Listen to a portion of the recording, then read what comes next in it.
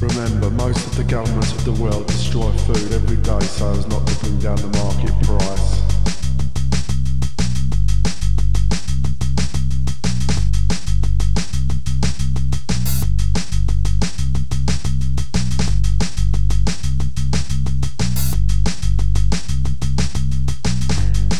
Tony Blair said, let no one be in any doubt, the rules of the game are changing. They've changed, gone are our civil liberties. We can't even protest at a war we don't want, and we're taken to anyway. The war on terror gives them license to do anything they want.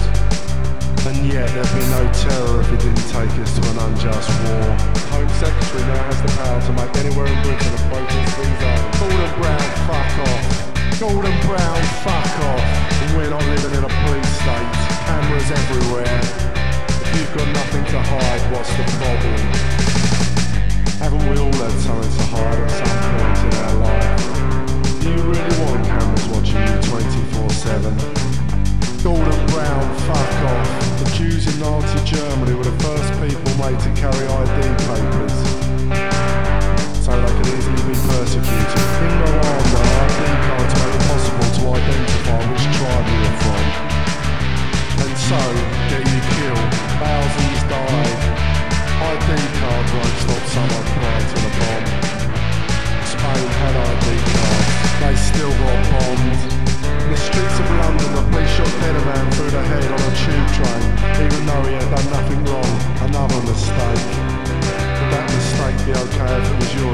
head? Guantanamo Bay, people not convicted of any crimes are locked up for as long as the American government wants. People are regularly flown to other countries for torture sessions. Planes that regularly fuel on British soil. It's now okay to torture and book confessions out of people. President Gaddafi is now our friend. Our governments decide who the terrorists are to suit them.